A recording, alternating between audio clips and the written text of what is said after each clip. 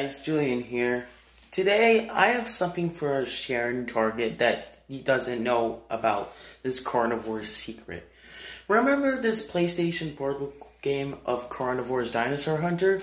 Well, it got banned from PlayStation because PlayStation already know it was it was doing bad.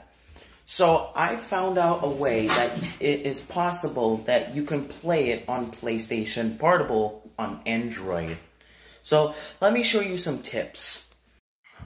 For this to work, you have to download two apps called the PPSSPP app for the game to get spawned in.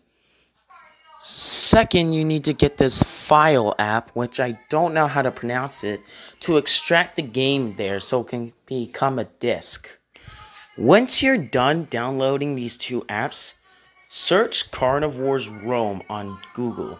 And then go down to this website called Roams a website. And then once you're there, you have to click this download. I'm not going to show you yet because you're going to figure it out by my by your own.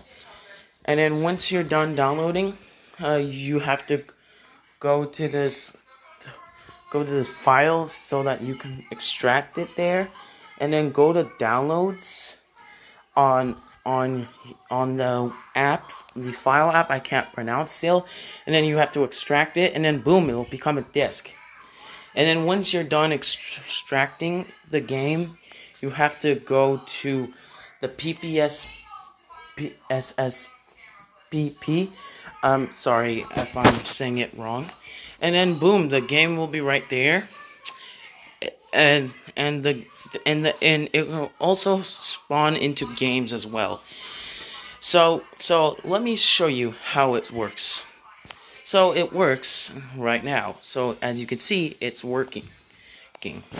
It's sometimes hard to control with the with the controls on the screen, but it's a lot easier for me.